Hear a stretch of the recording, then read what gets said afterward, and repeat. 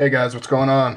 Carter here. Had a lot of people that wanted to see this video, so me being the kind individual that I am, decided to put it up for you. Uh, this is going to be a closer look, eh, you could call it a review, whatever you want to call it. Uh, just a look at this beautiful piece of functional art, the Sal Manaro Bullseye that I have here. Uh, I got this in, hmm, what was it, like a week and a half ago, a week ago, something like that. Let's get some specs real quick.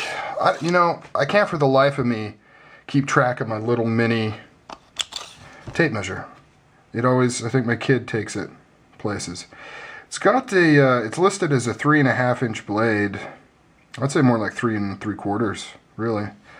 Overall length, you're looking about nine inches. So not a small, not a small folder by any means. He does do a mini bullseye, which is uh, got about a three inch blade. This features titanium bolsters. It's got the classic milled out bullseye right here. Uh, CPM 154 CM steel. There's the logo. Thumb disc opening. This has, let me try to get a close up here. Says silver twill G10. And if anybody can chime in and tell me why this is considered G10, let me know. Uh, I don't know much about this stuff, but to me it looks like silver carbon fiber.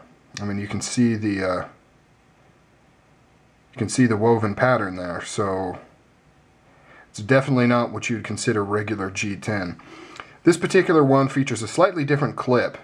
Usually the clip he puts on these bullseyes kind of uh, curve, and then it has these milling marks in it that almost perfectly just line up, uh, kind of like somebody just did it in one pass, but it's on both the scale underneath and above.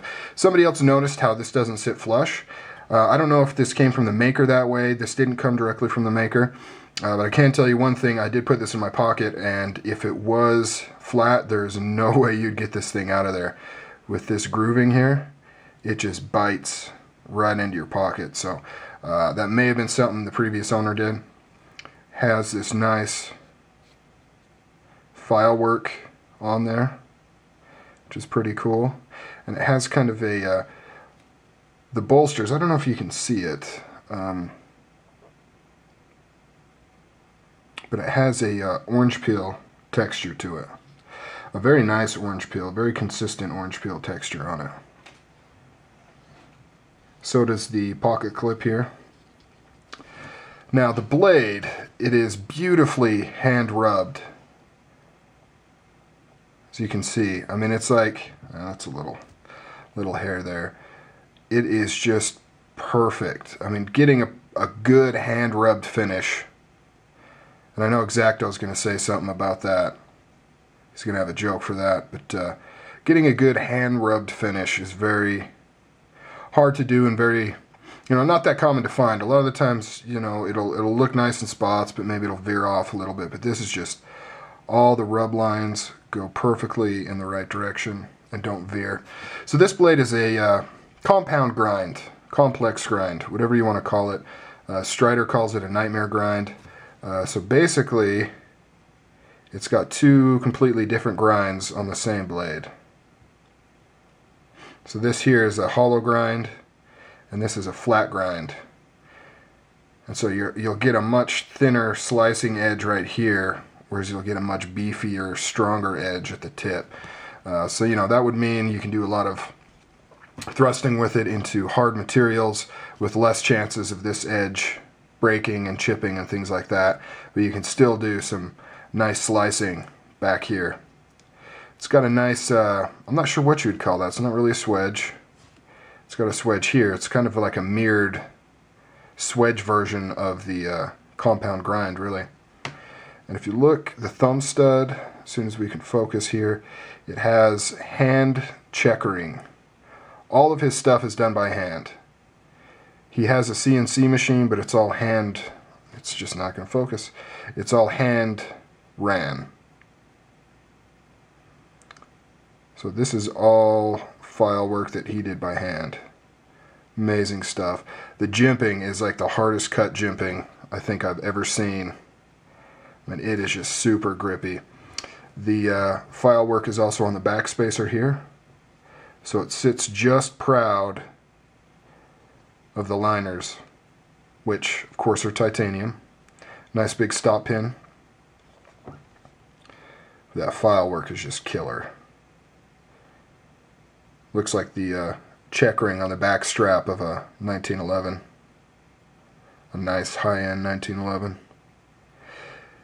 Now, uh, just a little history on here. You can see the nice thick lock bar, early lockup.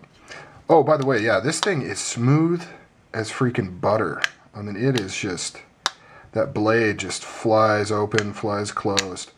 And uh, I think in the last video, I wasn't sure what the washers are, but they are just really small bronze phosphorus washers. It's amazing that he was able to get this level of smoothness out of those kind of washers.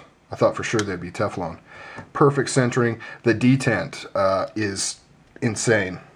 Like it is, I like strong detents, and this is about as strong as you could possibly functionally get. I mean, you've got to really pop it. It you can hear it. I mean, it just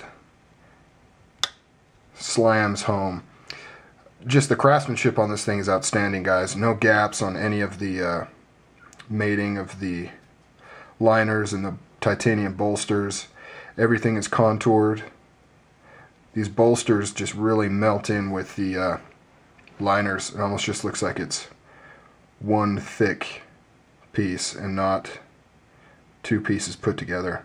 I mean, really, look at that. You can barely even see, focus would help, but you can barely even see the line that separates the two.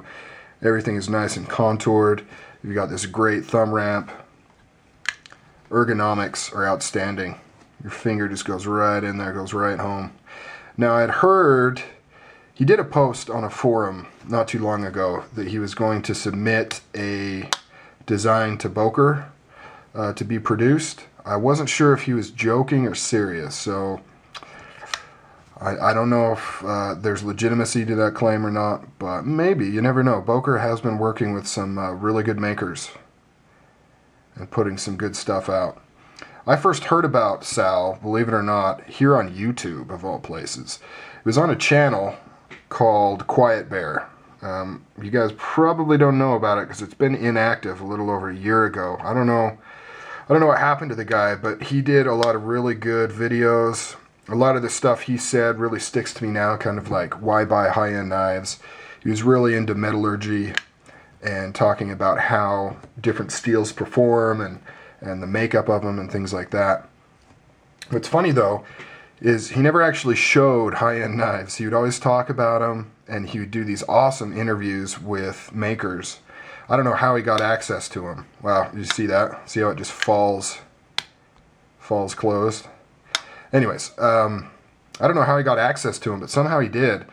And one of the interviews, one of his latest videos actually, was I think uh, second or third to last video he ever did, was a really good interview with Sal. Um, he talked about his philosophy of knife making. He showed a bunch of designs off and and really cool stuff.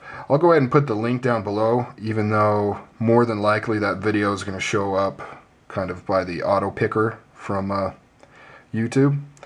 But uh, very good video. I wish that guy would come back. The reason why I picked this one up, I've, I've, sorry I'm all over the place, you know me. I've wanted a uh, knife from Sal for a long time. They're obviously expensive. They're not cheap. He's got about a two-year backlog. Um, I don't believe he's a full-time knife maker. I believe he does have, quote-unquote, a real job, and that he uh, does this on the side. And I really almost prefer in some ways makers that are like that because it almost seems like they're able to dedicate themselves to their craft a little bit more than somebody that has to pay the bills with knives. Seems like sometimes, not all the time and not with every maker, uh, but it seems like sometimes they can get a little caught up in trying to get as much product out the door that sometimes things will slip a little bit because, you know, they're trying to feed their kids. So it seems like part-time makers can really just take their time with pieces and, you know, they're not trying to rush so that they can pay their electric bill. Uh, they do it for themselves as much as they do it for the people buying the knives. But, uh, yeah, he's been in the game for quite a while and he's really known as just a detail-oriented knife maker. Just very precise. Sorry guys, this uh, camera will only do 10 minutes of time of HD. But a real precise maker, renowned kind of for uh, his detail and skills and things like that. But this this one I just I had to have it. I didn't necessarily have the money, but uh, I just I just had to have it. A lot of his designs are really like in your face. He'll do a lot of uh, mokuti and meteorite and just really uh, gnarly materials, Damascus, you know, almost art knifey. But this piece was just so nice and subdued and subtle. Um, I just I had to have it, so I did. I got it for better or for worse. So that's it, guys. Sorry about uh, the rambling and whatnot, but uh, that's that. That's the impression of my Sal Manaro Bullseye. Very nice knife. If you can ever pick one up from him, I would definitely recommend doing it. Alright guys, take it easy.